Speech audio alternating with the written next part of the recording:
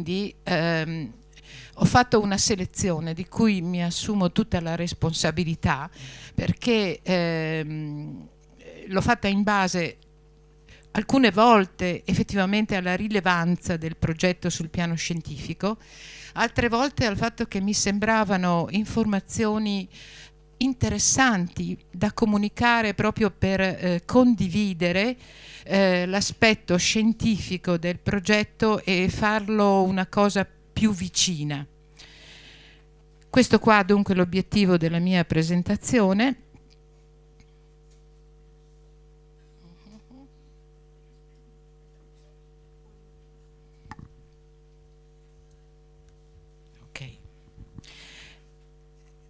sapete che l'anno scorso vi ho presentato la, la diapositiva della scala della vita e c'era stato l'urlo di gioia della Claudia per eh, la soglia dei 50 anni.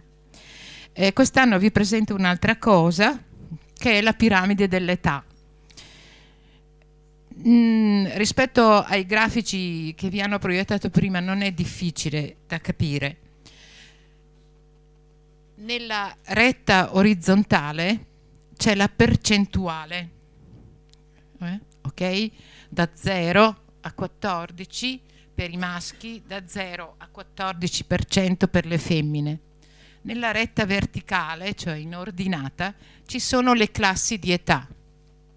Allora, se uno vuol sapere eh, quanti sono i maschi tra gli 8 e gli 11 anni, oggi in Italia, allora va di qua e legge che i maschi dagli 8 agli 11 anni rappresentano il 10% di questa popolazione di quasi 5.000 persone con la malattia fibrosicistica iscritte nel registro italiano.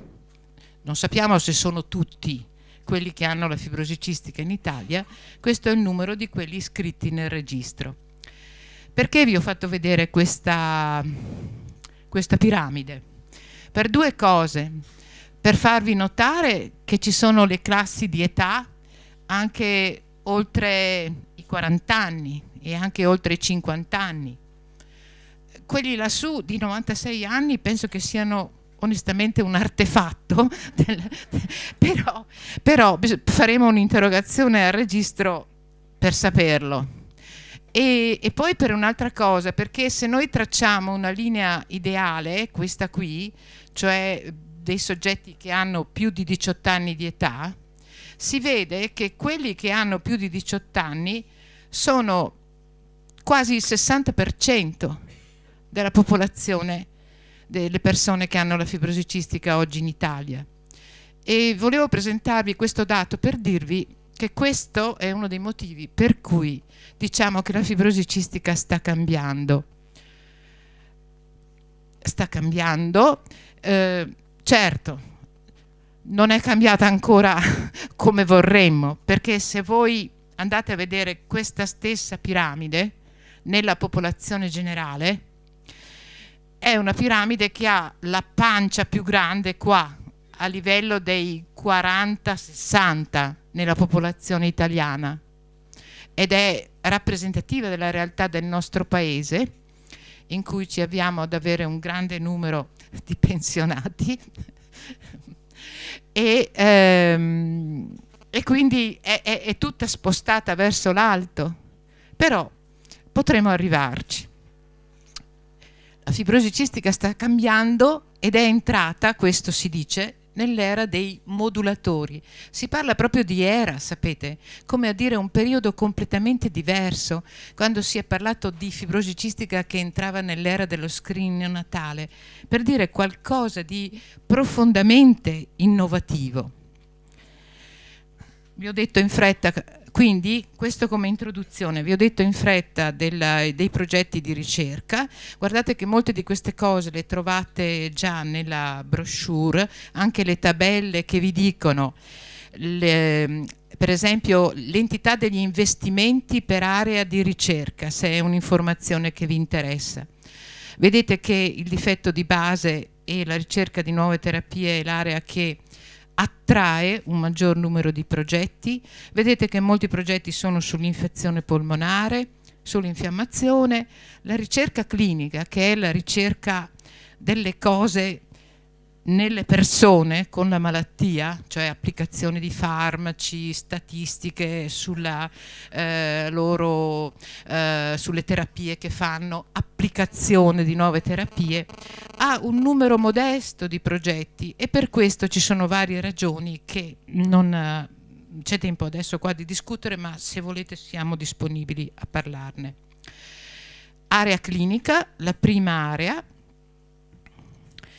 vi ho fatto un elenco di quali sono state le, secondo me, i temi più rilevanti toccati da progetti di ricerca FFC dal 2002 al 2018.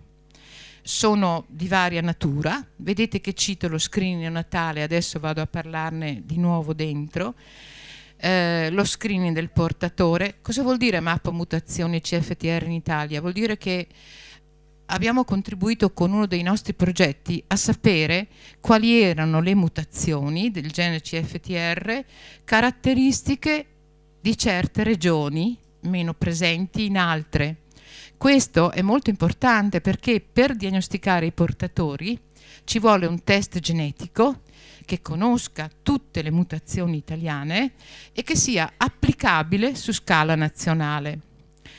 Eh, ci siamo occupati di, si sono questi progetti occupati di vedere nuovi protocolli antibiotici, eh, si sono occupati del tema del diabete, del trapianto e adesso ve ne illustro un paio.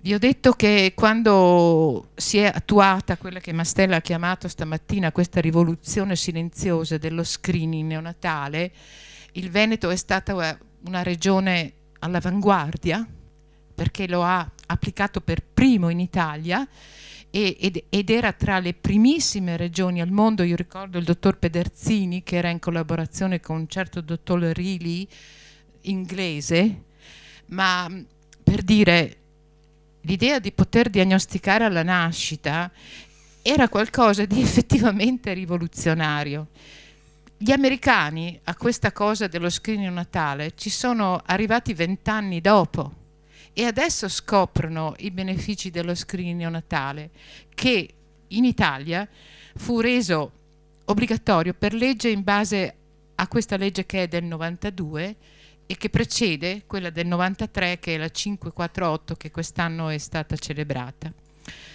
Questo progetto del 2010 ehm, ha voluto in pratica fare una panoramica di quali erano i protocolli che le varie regioni usavano per lo screening natale perché c'è eh, questo problema, che, che non c'è un protocollo unico che dica allora il bambino fa la puntura sul tallone e fa una cosa che si chiama tripsina, poi fa l'analisi genetica, eh, poi solo quelli che hanno l'analisi genetica positiva fanno il test del sudore. Ci sono insomma vari step che non sono in tutte le regioni tutti uguali. Ad ogni modo questa sorveglianza cioè perme permet ha permesso a questo progetto di vedere che nel 2009 erano sottoposti a screening neonatale il 78% dei neonati italiani e che la diagnosi, la mediana della diagnosi, era di 56 giorni. E guardate che è un buon risultato, perché è vero che lo screening neonatale, come mi ha scritto una mamma che non dimenticherò mai, ruba ci avete rubato i, i nostri sogni, ha scritto, perché è il passaggio dal sogno del bambino sano e perfetto al bambino che ha un problema.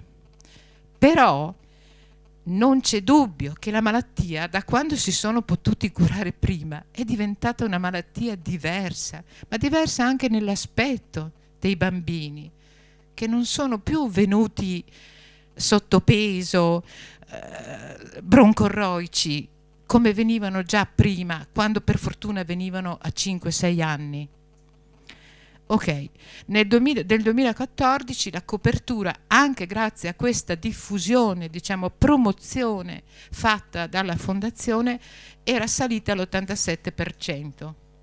E oggi poi, lo potrà dire meglio il dottor Bragion, eh, eh, c'è una nuova eh, fase che è quella della possibilità di aumentare, si chiama screening natale allargato, no Cesare, eh, con l'indagine non alle tre malattie classiche che sono ipotiroidismo, fibrosi cistica e fenilchetonuria, ma ad una quarantina di malattie metaboliche verso, eh, e verso questa procedura per legge le regioni dovranno orientarsi.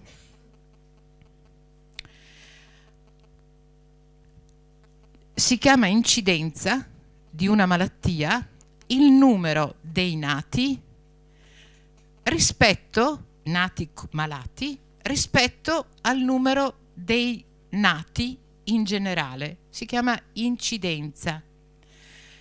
Lo screen neonatale ci dice quanti sono i nati in una data regione diagnosticati attraverso screening. Allora questa ve, la, ve, la, ve l'ho fatta vedere perché certe volte mi succede di sentire delle cose che mi fanno venire un po' di strizza, come che la mh, fibrosi cistica è una malattia molto diffusa in Italia o che la fibrosi cistica è una malattia molto diffusa nel Veneto, eh, cose di questo genere.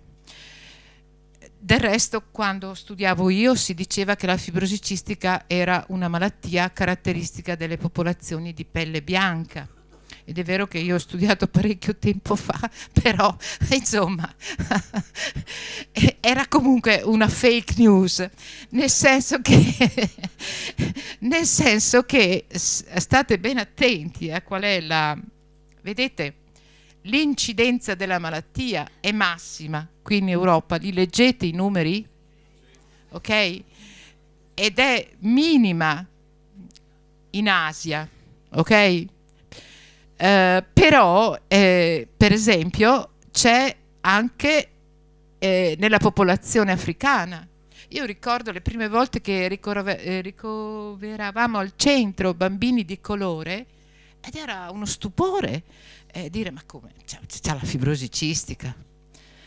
E, vedete Nord America, vedete Sud America, ok?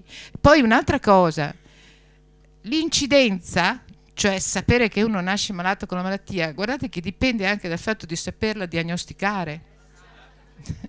per cui non sappiamo se i, i, signori cinesi che sono così abili adesso in vari campi magari fanno qualche progresso anche nella diagnosi della fibrosi cistica oppure se sono effettivamente uh, capaci di dimostrare che da loro la fibrosi cistica c'è di meno. Detto questo, passo a dire questo e scusate se uso un modo di rappresentazione un po' naif, perché questo era una cosa che avevamo fatto per le scuole, per dirvi che diversa incidenza della malattia vuol dire diversi, diversa frequenza del portatore. Mm? Perché per nascere malati ci vogliono due portatori. Allora, siccome l'incidenza della malattia è maggiore nelle nostre popolazioni, ecco qua che la, quelli che si chiamano di origine caucasica, i portatori sono il 4% circa.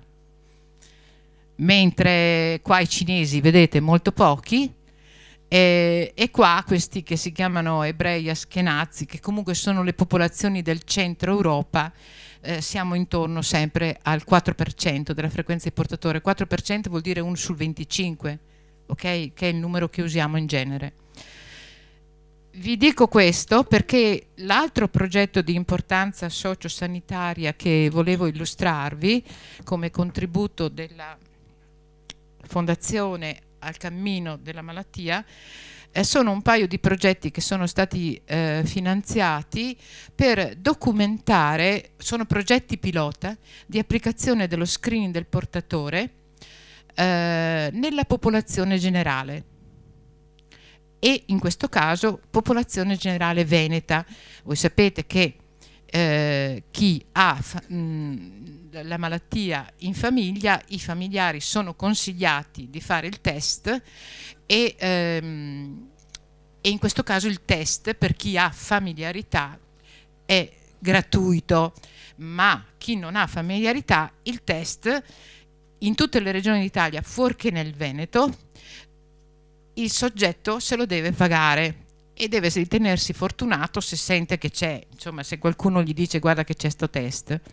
Nel Veneto, eh, attraverso questi progetti, sono stati eh, si, si, sono avuti risultati importanti perché per esempio ehm, abbiamo saputo intanto sono stati fatti ripeto nella popolazione generale un sacco di test.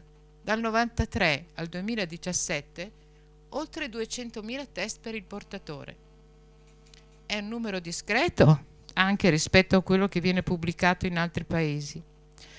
Veneto Est vuol dire, Veneto, vuol dire Vicenza, eh, Padova, Treviso, Belluno e Venezia in questo caso, che era un'area ben circoscritta in cui era stata fatta attraverso una rete di laboratori e di medici di base una promozione particolare dell'informazione sul test.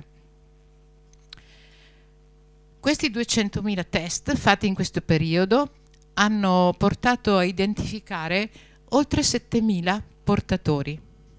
Parlo del singolo portatore, non delle coppie. E, e vedete che eh, questi sono gli anni, dal 94 al 2017, eh, l'identificazione dei portatori, che va in parallelo con il, il numero dei test eseguiti, è massima in questi anni qui, 2006-2013, e poi tende un po' ad appiattirsi. L'appiattimento corrisponde ad una fase di non più eh, promozione sostegno al test per varie ragioni. Questo andamento è, è importante per questo che vi dico adesso. Voi dovete credere, eh, in base a, a me e io credo alle leggi della statistica, che queste due curve, questa qui rappresenta l'andamento dell'incidenza della malattia vedete la curva continua? Cioè rappresenta il numero dei nati malati che qui ha una certa incidenza, qui scende e qui risale, mentre questo rappresenta l'andamento del numero dei test eseguiti. Ok?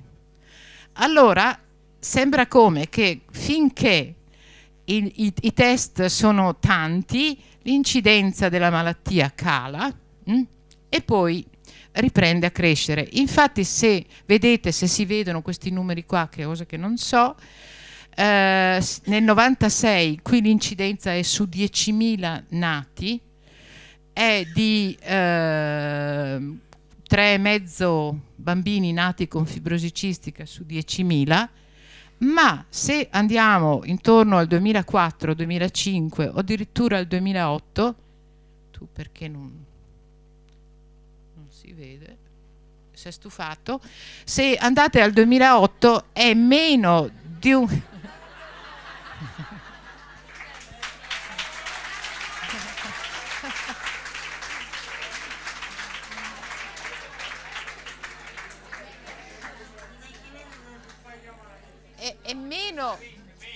è meno di un bambino su 10.000. Allora, che, la cosa che questi progetti non hanno di queste diapositive, tra l'altro ringrazio il dottor Castellani che era il principal investigator, il ricercatore principale di questi progetti, eh, la cosa che questi progetti non ci hanno detto è eh, perché in che modo l'incidenza è diminuita? Eh, sono state fatte delle diagnosi prenatali? Eh, sono state fatte delle adozioni? Sono state fatte delle eh, procedure di procreazione medicalmente assistita? molto difficile, sono cose molto difficili da indagare, eh, però ci hanno detto di questa realtà, che è una realtà importante e chiudo perché è un'esperienza unica, eh, quasi unica, perché ci sono altre nazioni che hanno provato tuttora a fare progetti pilota di screening del portatore, ma sono molto poche e il Veneto si inserisce in, fra le, queste poche. E quello che volevo dire è che lo screening del portatore, questa fondazione intende promuoverlo nella sua valenza informativa, avendo ben chiaro questo, che lo screening del portatore ha come scopo di identificare i portatori e di permettere alle coppie di portatori di scegliere che cosa vogliono fare. Questo è il, il principio della scelta consapevole e autonoma che è il fine dello screening, non la diminuzione dell'incidenza della malattia. Questo non è dichiarato. Se poi questo viene verificato, questo è perché le persone hanno scelto così, ma l'importante è il principio della, di informazione. Ok? Chiuso. Passiamo sempre in area clinica a un progetto che riguarda il trapianto polmonare, verso il quale io ho abbastanza attese perché, perché non ci sono eh, diciamo, esperienze pubblicate su, questo, su, su questa procedura e, e, sono solo, sapete, segnalazioni qua e là e abbiamo finanziato questo progetto proprio perché sentivamo il bisogno che se ne facesse una esperienza controllata, quando dico esperienza controllata voglio dire un gruppo che lo fa e un gruppo che non lo fa e poi si va a vedere che cosa succede. Questa è una macchina speciale che è la macchina per la fotoferesi extracorporea. È una macchina che eh, praticamente separa il sangue nella sua parte cellulare da quella liquida del paziente che è lì, no? Che glielo cavano via tutto e va dentro e poi glielo reinfondono.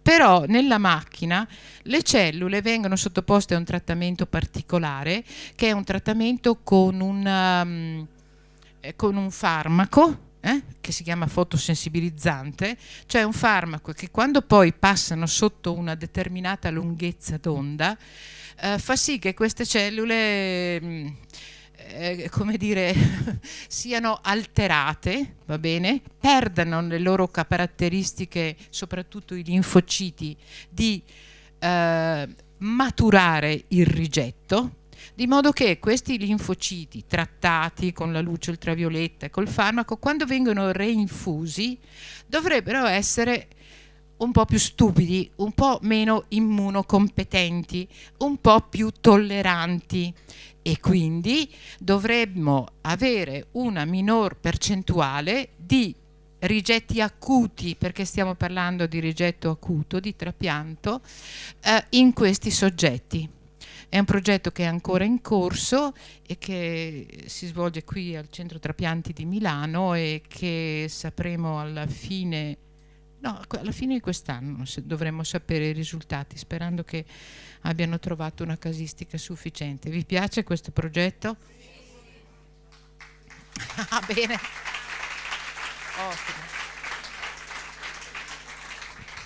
Qua Qua meno applausi ragazzi, perché l'area dell'infiammazione, vi ricordate l'anno scorso ho detto che è un'area molto complicata e non solo noi stiamo cercando, stanno cercando tutti. Infiammazione poi in fibrosi cistica è questa cosa che, che, che una volta che si è accesa invece di spegnersi come succede quando picchiate col ginocchio dentro un tavolo e diventa il ginocchio rosso, ma poi diventa un po' più chiaro, un po', eh, poi si sgonfia, eccetera. Infiammazione in fibrosi cistica comincia presto e non si spegne più. Tant'è vero che l'ipotesi oggi predominante è che sia collegata al difetto di CFTR e, ed è su questo che si sta molto lavorando. Comunque noi abbiamo fatto del nostro meglio per studiare questi meccanismi che sono molto complicati perché l'infiammazione è come se aveste un gomitolo, tirate un filo e fuori una roba del genere, per cui eh, ancora oggi usiamo il cortisone perché tanto lui in generale deprime tutto, invece bisognerebbe trovare il farmaco che va specificamente, specificatamente su un certo target. Ma ci arriveremo, ci sono dei trial anche della, della Fondazione Americana con dei nuovi antinfiammatori in corso, però, trial clinici, però questo per dirvi che è un argomento complicato, io qua vi segnalo che per esempio la trimetirangiricina è un composto che è stato designato dall'EMA come farmaco orfano, che l'anachinra è qualcosa che è già in commercio e che abbiamo effettivamente valutato se valesse la pena di fare un trial clinico. Eh, c'è anche quest'altro che è già in commercio per un'altra malattia, poi c'è questo composto molto nuovo che deriva dal, è un grasso omega 3 che si trova nei pesci e che è stato molto ben valutato quando sono stato a Denver, è un prodotto nuovo. Eh, insomma, bisogna lavorarci ancora. E, e quindi, eh, se poi avete domande, ne riparliamo. Passo invece all'area dell'infezione polmonare, perché la domanda è: ma quando è che ci sono degli antibiotici nuovi? Mm. Ah, domanda terribile. Eh, per trovare un nuovo antibiotico bisogna capire cosa fa il batterio, bisogna capire quali sono i suoi meccanismi di difesa, quali sono i meccanismi che lo rendono resistente agli antibiotici tradizionali.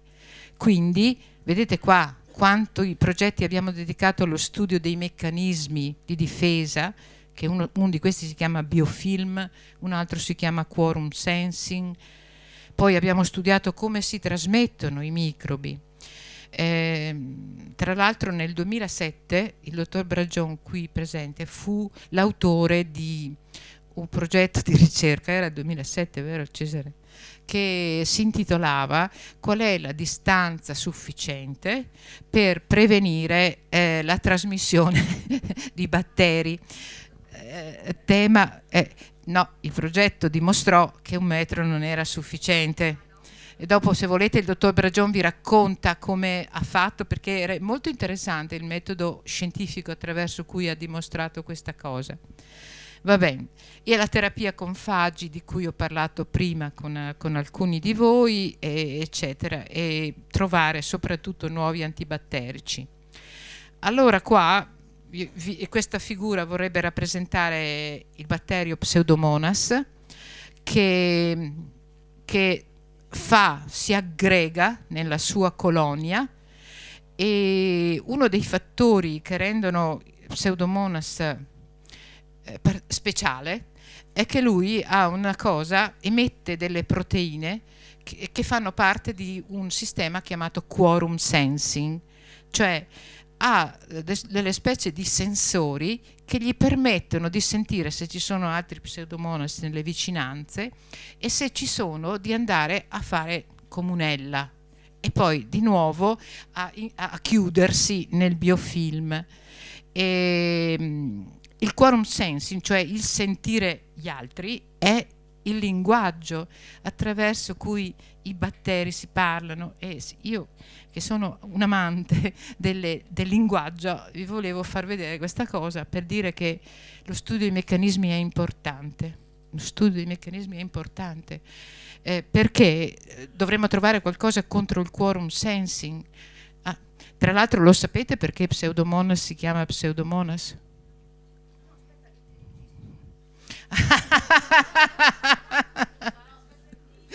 non importa. No, se no poi Pseudomonas è stata una scoperta anche per me.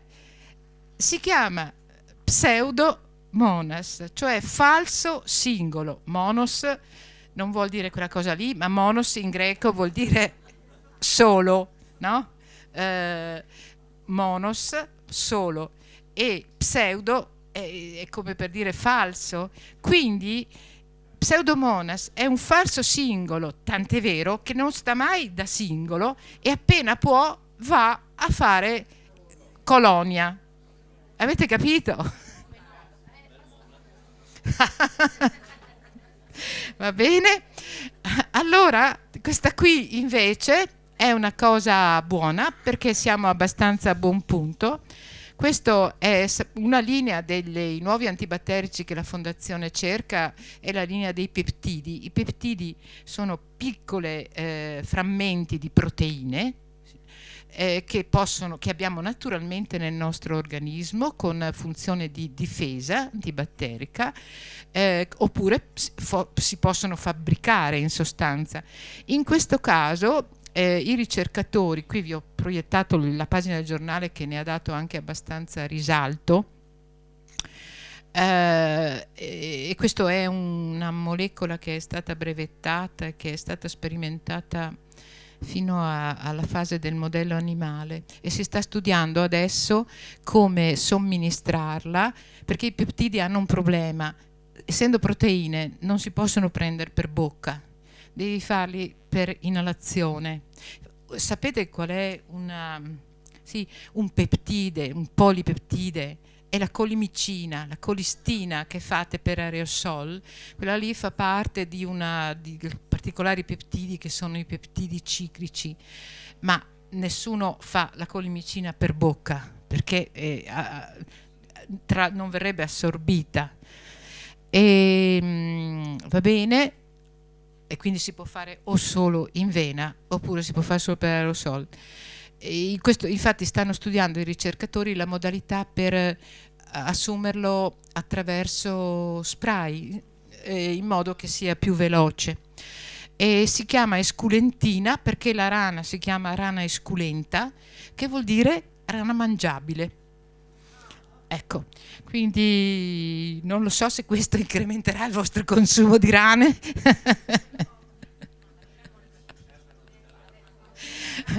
questo è un altro antibatterico. Quanto tempo ho? 5 minuti. Eh, questo è un nuovo antibatterico, il gallio è un metallo, sì, è un metallo atossico eh, che si trova in natura assieme allo zinco e che eh, potrebbe avere un impiego come antibatterico coadiuvante agli antibiotici tradizionali. C'è un trial con il Gallio sostenuto dalla Fondazione Americana, un trial clinico che mi sembra che sia un trial di fase 2. Vedete, quest, eh, il, la roba la roba bianchiccia sarebbe il famoso biofilm e dentro ci sono pseudomonas. E queste sono le capsule di Gallio che si possono trovare in vendita anche su eBay, senza che questo vi incoraggi ad andarle a prendere. E, e questo invece qui vi ricordo che i progetti della Fondazione si sono occupati della ricerca di nuovi protocolli antibiotici nella linea che appena trovato un germe è meglio saltargli addosso, è andata diffondendosi la pratica dei eh, protocolli per eradicare Pseudomonas alla prima comparsa, adesso la cosa si sta estendendo per lo stafilococco multiresistente. E, e, e questo, questo lavoro ha dimostrato che effettivamente introducendo tra, per esempio la pratica di mettere un antibiotico anche nel naso, perché il naso è spesso ricettacolo di stafilococchi, eh, effettivamente lo stafilococco multiresistente in una certa percentuale di casi, se gli salti addosso molto presto, scompare e non si impianta. Qua vi faccio vedere che questi sono cocchi che, eh, che sono rotondeggianti a grappoli e quindi hanno un modo di aggregarsi molto diverso da quello di Pseudomonas. Nuovi modelli per lo studio della malattia. Eh, qui eh, non siamo più eh, nell'area di prima dell'infezione, dell siamo nell'area 2, nuovi modelli. Mm? Prima avete sentito eh, Nicoletta che parlava dei modelli animali e della loro indispensabilità e, mh, e poi di questi nuovi eh, e promettenti modelli che derivano dal paziente stesso, no? che sono gli organoidi intestinali o le cellule dell'epitelio nasale. Allora, qui invece questi sono esperti di ingegneria dei tessuti e eh, hanno pensato che potevano agire in questo modo, fare del connettivo sintetico mh, hm, e poi metterci dentro le cellule epiteliali bronchiali del malato, farle crescere lì e poi coniugare il tutto con una serie di microcanali che portano dei fluidi, infatti si chiama eh, qua non c'è, ma si chiama microfluidic chip, insomma, sta cosa, mini miniaturizzare il tutto e renderlo eh, sensibile a determinate variazioni di volume, di pH, eccetera, eh, portate dall'esterno, anche a farmaci portati dall'esterno. E questo progetto si conclude quest'anno e stiamo a vedere che risultati darà, perché anche questo avrebbe dei vantaggi. Finiamo con l'area più importante, che è l'area del difetto di base, vedete quanto è stata studiata la CFTR difettosa, perché solo studiandola si può vedere come trattarla, ve l'ha detto la dottoressa Pedemonte. Io vi cito, eh, aspetta, ehm, sono dimenticata una cosa, che a questo punto delle cose come fondazione si è pensato che si doveva intraprendere tre grandi linee di ricerca per quanto riguardava l'area la, la, della CFTR. La prima era la ricerca di nuovi farmaci, perché è vero che il mercato propone tutto questo, ma c'è ancora grande spazio per trovare farmaci nuovi, migliori o nuovi come meccanismo quindi, per esempio, avete sentito parlare di stabilizzatori. Ecco qui che a Denver è stato portato il risultato di questo, che potrebbe essere uno stabilizzatore sul, della proteina sulla membrana, cioè uno che la costringe a stare lì anche quando lei, siccome è difettosa, balla e verrebbe rimossa. E poi c'è un nuovo potenziatore, questo oggetto di brevetto e anche molto pubblicizzato. Ehm, per dire, conclusione, che il futuro dei modulatori di CFTR è nelle associazioni di composti. Non aspettate, non aspettatevi che ci sia la pastiglia unica. Eh, credo che questo siete arrivati a capirlo. Fate il paragone con gli antiipertensivi. Voi siete se c'è un'ipertensione importante, in genere viene associato un diuretico con un beta bloccante e lo stesso sarà per il farmaco che va sul difetto di CFTR. Seconda linea, ricerca di terapie per mutazioni diverse da F508del. Non c'è solo F508del, avete sentito quello che ha detto il dottor Bragion, le mutazioni stop in Italia complessivamente riguardano il 10% dei malati per, e, mm, e quindi rappresentano una fetta importante. Delle mutazioni stop i progetti della Fondazione si stanno occupando. Questa molecola NXV è uno di quelli che eh, sono stati chiamati rettificatori, ricordate la sostituzione della lettera, eccetera, eccetera è, ehm, è ancora in corso, comunque la molecola è brevettata, è arrivata al saggio su cellule bronchiali CF. Sempre per le mutazioni stop c'è in corso una cosa di cui vi parlo dopo che è il tentativo di trattarle con RNA editing. E guardando fuori di casa è in corso il trial clinico europeo di fase 1-2 col nuovo composto LX02 che è un rettificatore come NXV per intenderci. Questa l'avete vista molte volte, ma ci ritorno perché chiudo su questa. Cosa vuol dire gene editing? Editing vuol dire correggere. L'editor è quello che si prende la responsabilità di fare correggere le cose perché poi vadano in stampa. Il gene editing, questo è l'avanzamento rispetto all'anno scorso. L'anno scorso parlavamo solo di andare sul DNA del gene. Quest'anno si parla di andare sull'RNA messaggero. Qua no? siamo dentro al nucleo della cellula, il DNA si srotola, fa una copia di se stesso, che è l'mRNA, e l'mRNA è il messaggio che viene portato nel ribosoma, dove c'è la fabbrica, insomma, per montare la proteina. Eh, possiamo agire con le forbici sul DNA, tagliando via il tratto sbagliato e poi sperando che in qualche modo si riaggiusti o introducendo noi un pezzo per riaggiustarlo, però possiamo agire anche sull'RNA. E guardate che agire sull'RNA ha dei vantaggi eh, perché non tocchiamo di fondo il genoma.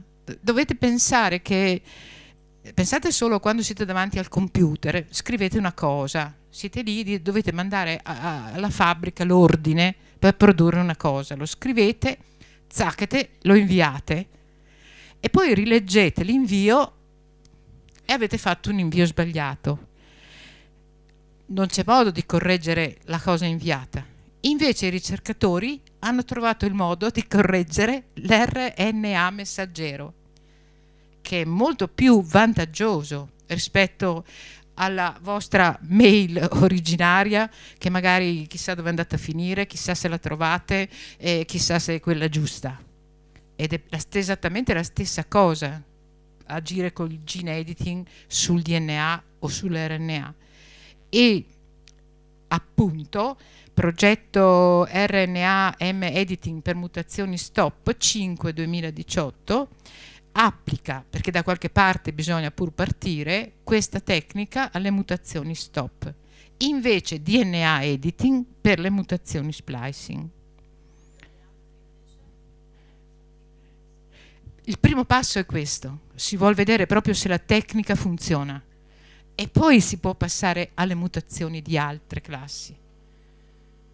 Una, ho detto, da qualche parte bisogna applicare ultima, e poi chiudo, eh, volevo lasciarvi con, questi, con queste informazioni che mi hanno molto sorpreso e che mi hanno anche, volevo trasmettervi la sensazione di chi apre i libri, eccetera, le, il computer e ogni giorno trova qualcosa di nuovo.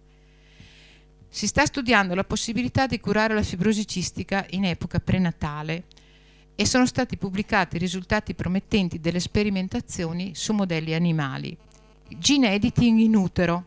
Questo è un esperimento fatto su topi con una grave malattia polmonare a livello interstiziale, genetica, e to le tope sono incinte eh, loro, nel loro utero viene iniettato nel liquido amniotico tutto il complesso che deve portare la forbice e le proteine per andare a fare il gene editing. E il topino, il feto topino, deglutisce il complesso CRISPR-Cas9 e la forbice, eccetera, e siccome non ha polmoni funzionanti fino a che nasce, quello che deglutisce va a finire nei suoi polmoni meraviglia della meraviglie, sembra che riesca a beccare il gene di questa malattia che viene corretto e si vede che alla nascita eh, i topi hanno polmoni migliori, diminuisce la mortalità per quella malattia, insomma una serie di cose positive. L'altra cosa, l'altra cosa speranza. L'altra cosa è la somministrazione di Iva Castor, Calideco, alle furette incinte. Non glielo diciamo. e questa è, anche questa è molto interessante perché eh, hanno studiato il dosaggio che potevano dare alla furetta eh, incinta in modo che fosse efficace.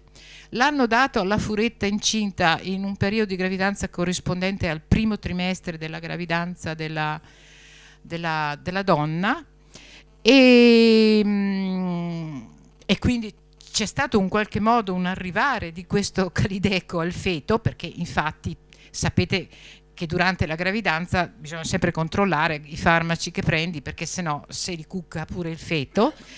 E ci sono buoni risultati, nel senso che per esempio hanno visto che il, il furetto, che ah, scusate, era un furetto feto G551D omozigote, quindi sono partiti da questo tipo di mutazioni, ehm, se maschio non presentava l'atresia dei deferenti.